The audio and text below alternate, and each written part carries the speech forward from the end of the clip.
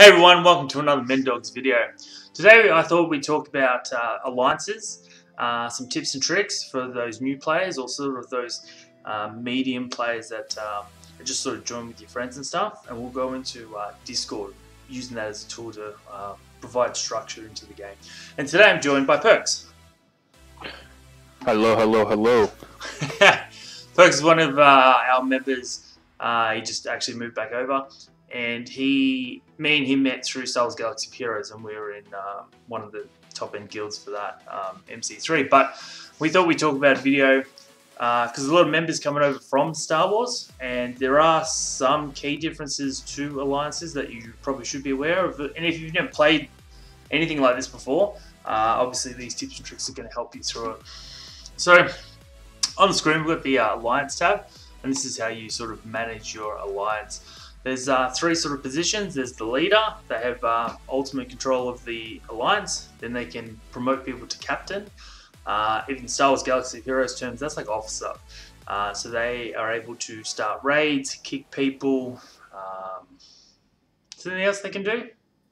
Oh, war rooms too. They can control war stuff. So um, eventually you might get into uh, assigning people, and we'll, we'll, show that on the Discord part where you start assigning people or uh, captains in this case to uh, different roles like war, raids, stuff like that. So they, they keep the structure there.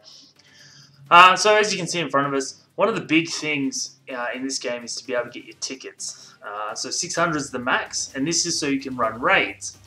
Uh, with the the raids, you want to make sure that you get 600, uh, which is all the free energy you get a day, and then I think it's your 50s as well. I believe so. That's correct? Uh, yes. So by the time that server reset happens, uh, you should be able to have all your 600. 600. Actually, you can get it 100% uh, free to play if you do it correctly. You won't even have to use 50 refreshes. Um, when we talk about refreshes, we talk about the uh, buying the energies for those 50 cores. Um, personally, I go to the hundreds. Uh, what do you go to, uh, perks? Uh, yep, I go uh, I do the 50s, I do the hundreds, uh, just depending on how many cores I have, and kind of go from there. Um, you know, I'm uh, I do spend a little bit in the game, so um, you know I'm able to with those refreshes, I'm able to push my farms a little bit harder. Mm-hmm. Um, obviously, uh, you can do all this free to play if you like to. Uh, just make sure that you maximize your arena payout. Yeah, so don't do what I did where I started the game in the first week of the launch, left the game, came back, and then now I'm in the thousands because I can't punch through all the black order in front of me. yeah, terrible idea.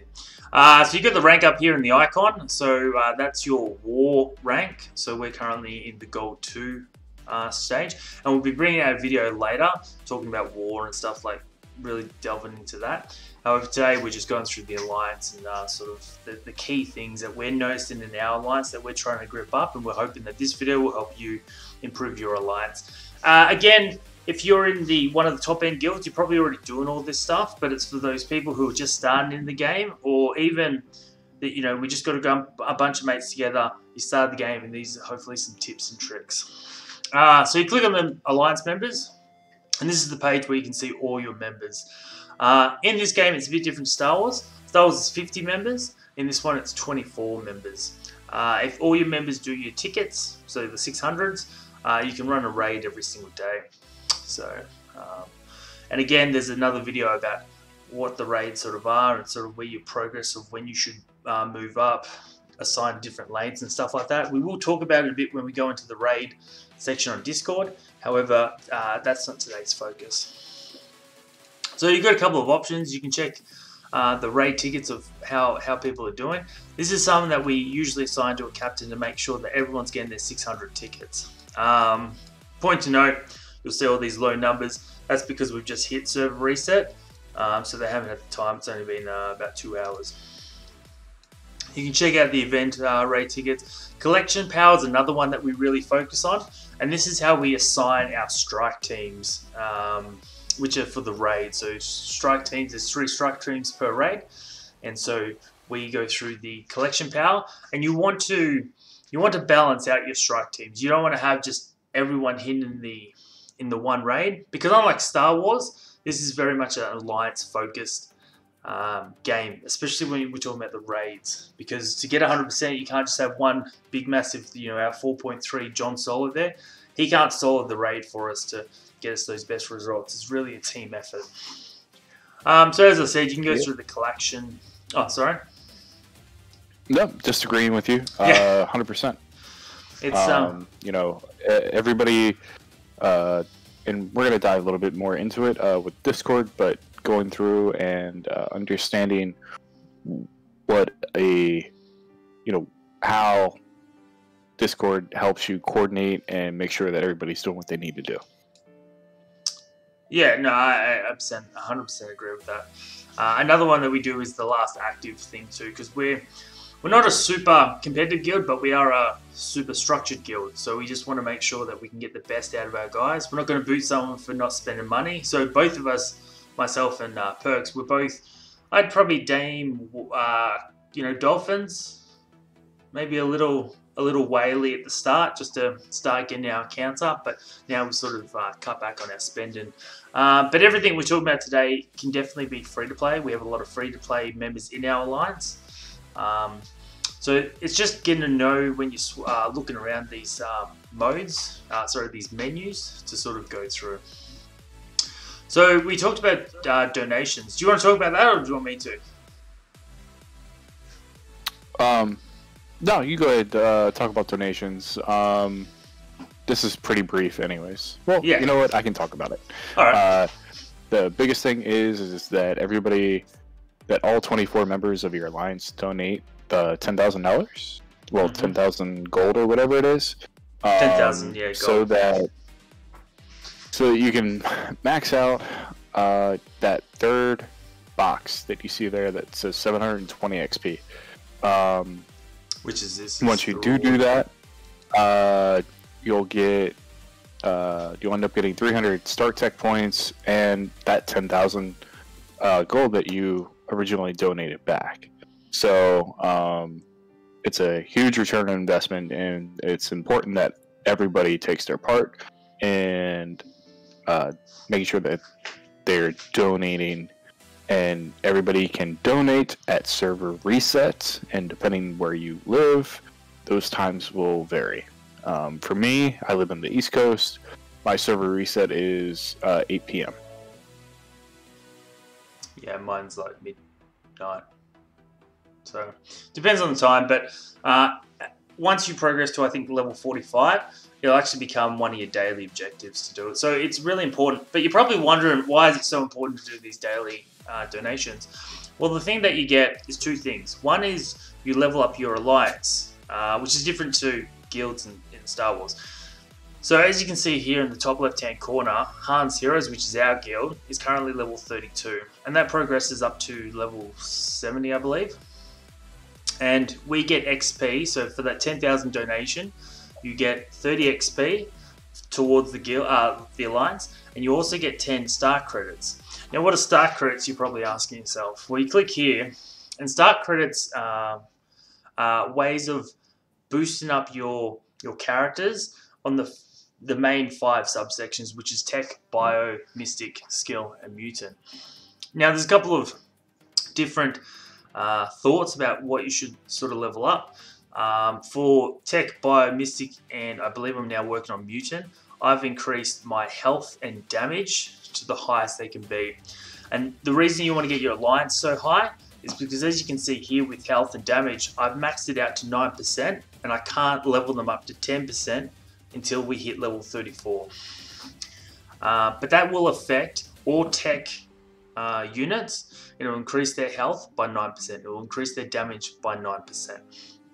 Uh, so these are the star credits that you get in the top right hand corner and you can spend them on uh, so we'll go to mutant. So tech is I'm focused on because of my Dark Dimensions 2 and people have different thoughts about what they want to sort of level up.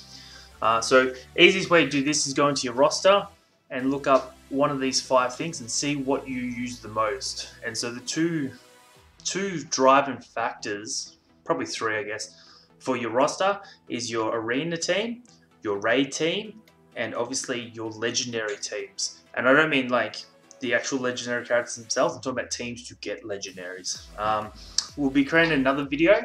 It'll be the next one, and we'll be talking about legendaries. You know how to get them, sort of the minimum gear level, and once you get and spoiler alert, Star Lord will be the first one you go for.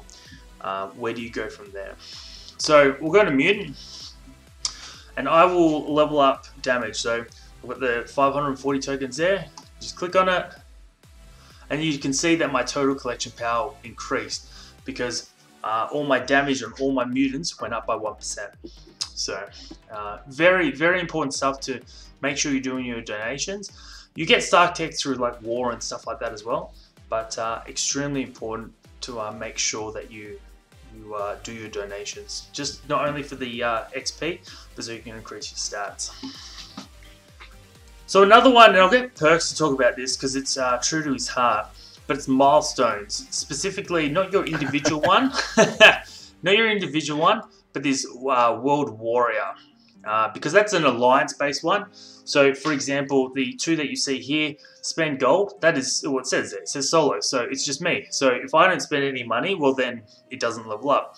It's not dependent on anyone. But the uh, fight in battles... Not money, gold.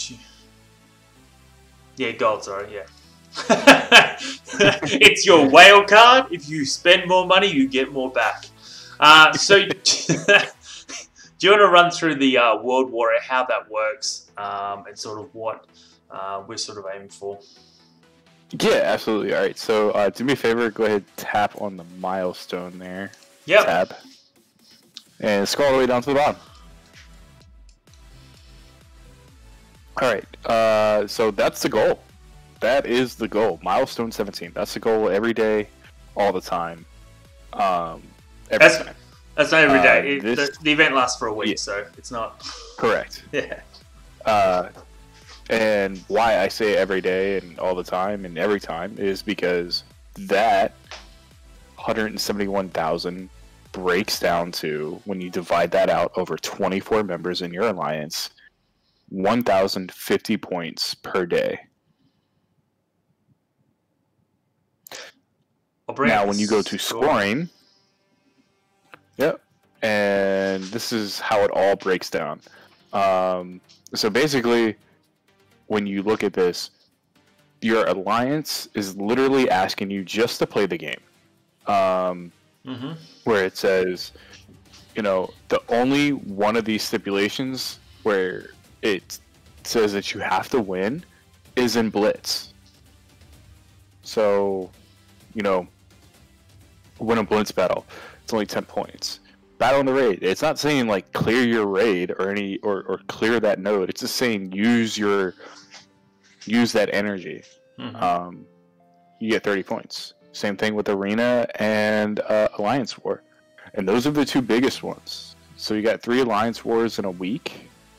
Um, and you have five uh, Arena battles every day. Mhm. Um, so, you know, you can really maximize these points and, uh, you know, 1,050 points a day. Um, you know, however you guys decide to work it out isn't that hard. It should be Um, noted worked it out. to PV. Uh, sorry, uh, this is not uh, pay dependent. Um, obviously, you can speed up things with spending money. Uh, so, for example, the arena, I can spend cores to increase the amount of times I can go in arena, but I don't have to. That thousand and fifty points, you can do free to play. It's you know you just you're playing the game and you will get that thousand points. Uh, some days you'll get more, which is obviously the alliance wars. Um, However, yeah, it's super easy to get, free to play, and if you spend money, well, it's just easier, right? Um, but yeah, sorry, continue. Yeah, absolutely. Um, you know, uh, in an alliance war, uh, you can technically do ten attacks uh, from the beginning of the alliance war all the way down to the end of the alliance war.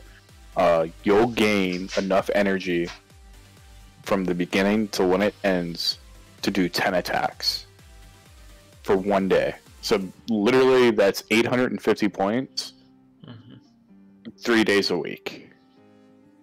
Um, it's 450 points for uh, doing your arena every day. You know, so these things can balance each other out. You know, blitzing, you know, can be kind of, you know, monotonous and what, you know, just not fun. It's it's very like, you know, play it in the background, put it on auto, walk away from it, come back to it, put in your next team, do the same thing Mhm. over and over again.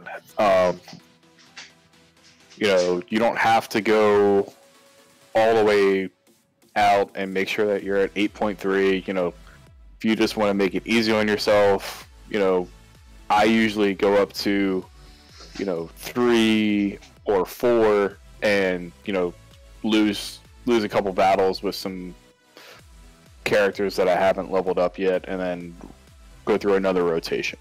Um, We're going to Blitz video coming out do. about that, and I'll show you sort of how that is.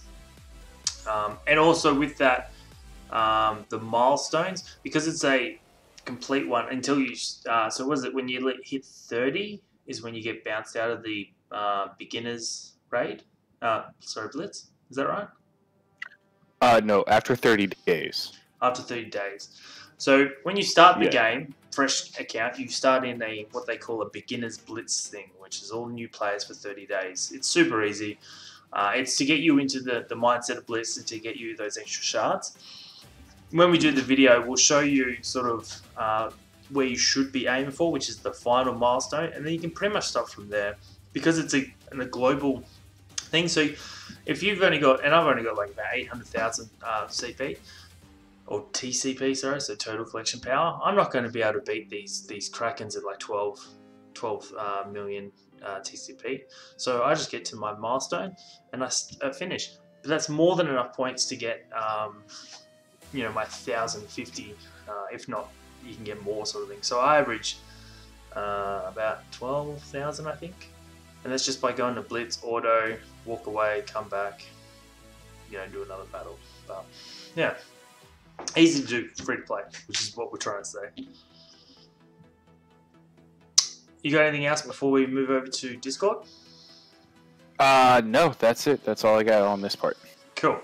Uh, so as I said, we're going to be talking uh, about uh, raid coordination.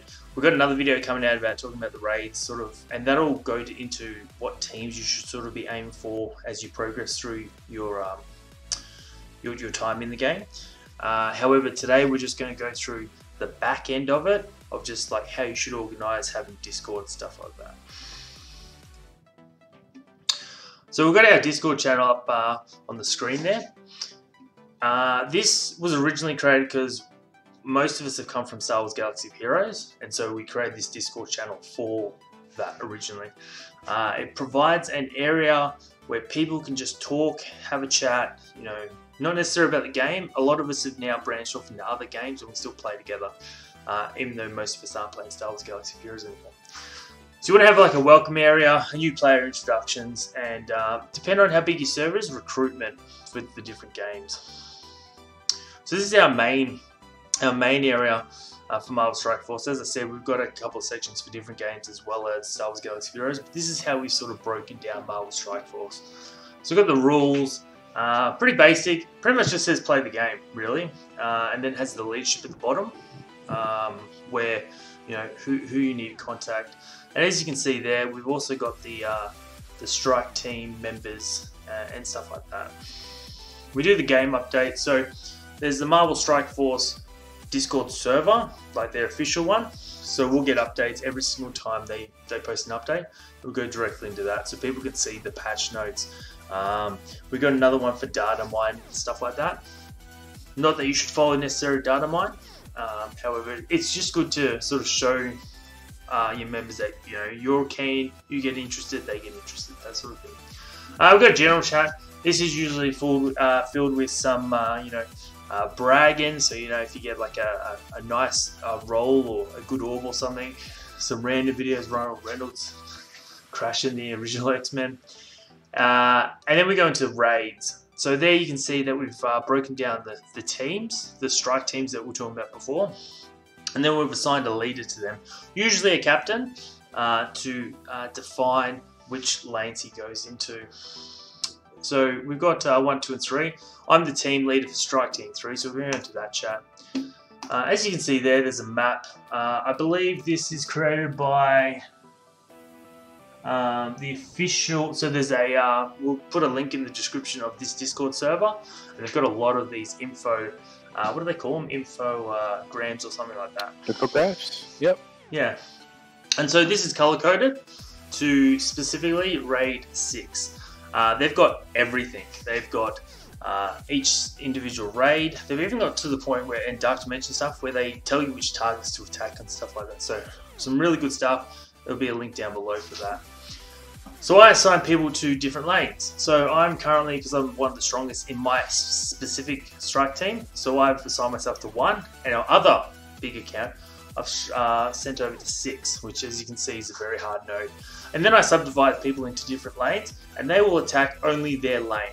And it doesn't matter how far they get. It's not. Um, it's not about how far they get because eventually they will build up to uh, be able to get through it.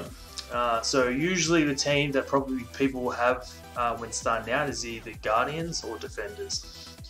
So you go through your lane, and what I'll let Perks talk about his pet peeve on, uh, you know, lanes. Oh, don't, don't, don't cross lanes. Don't cross the streams. Don't do that. don't, don't, don't cross the streams.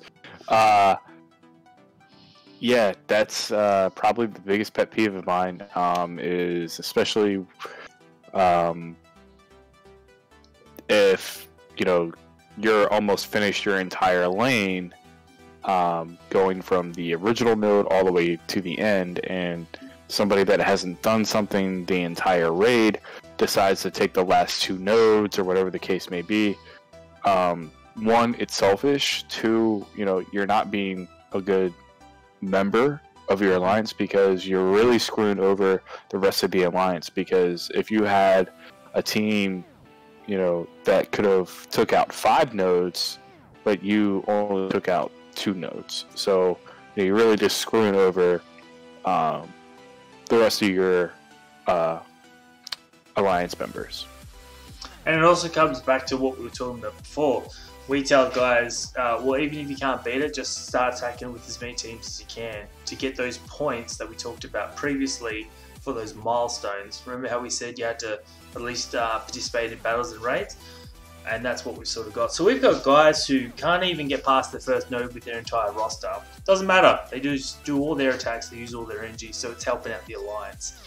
Um, each strike team has the exact same map, and it's all about completing as many nodes as you can.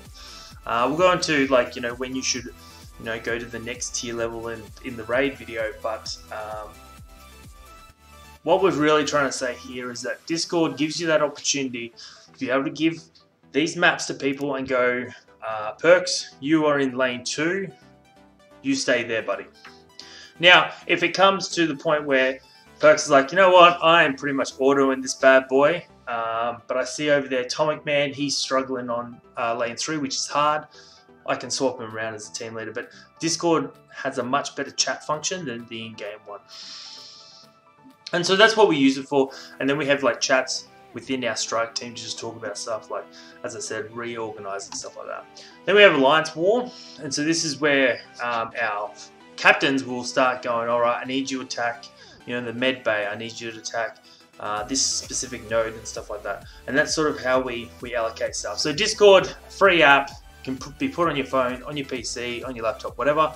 Um, fantastic tool we have a lot of uh, bonus things as well and here so you know i've got a dimension guide there for people and we've got tips and tricks and stuff and the reason that we have it all in one spot is because a lot of people aren't super keen to get into the nitty gritty of everything but if you have a discord channel that has like just the main things so as i said like you know we've got the map of the discord uh, sorry of the raid people can just quickly go to that and go okay i'm lane two all right this no this no this no yeah cool and that's it. They're, they're not going to be looking at the you know the forums. They're not going to be looking at Reddit stuff like that. So for um, sorry for Discord, it's just a really easy way to uh, help people sort of who aren't super interested in this game. And we find that a lot with Star Wars. So uh, do you have anything else to say before we wrap this up?